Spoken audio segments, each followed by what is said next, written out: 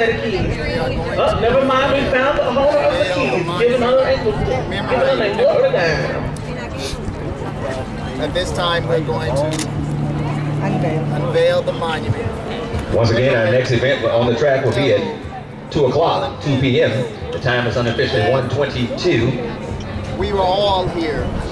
Once again, we thank you for joining us at the 88th annual Prairie View Relays. I want to thank all of our volunteers, our alumnus who's come out to support and also participate in the events.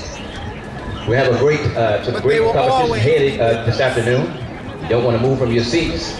And even though this is 22 years later, If you're looking for the restroom areas, it's something that will located near the stadium. They will never be forgotten. Now is the time to get your walk on. that we built We also have food trucks out representing us as young today. men here at Prairie get something to like to eat.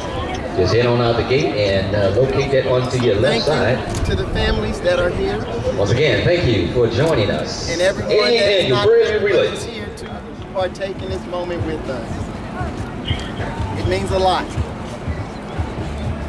Words can't express what this moment means.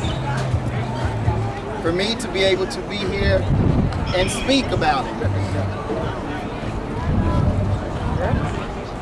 you will never know what this moment means. Okay.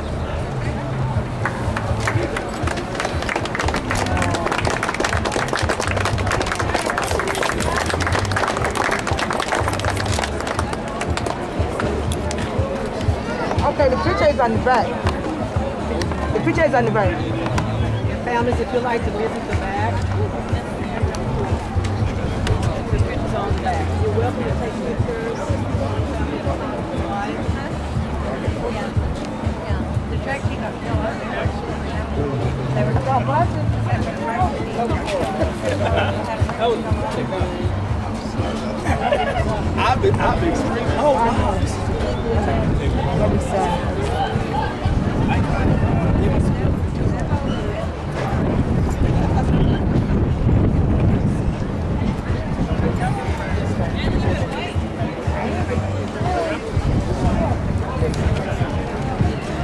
We had some great competition earlier this morning.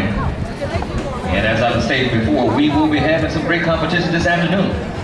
Beginning promptly at 2 p.m.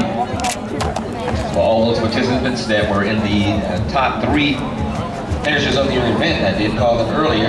Remember who you are. Make sure you pick up your award at the award stand. Top three finishers of each event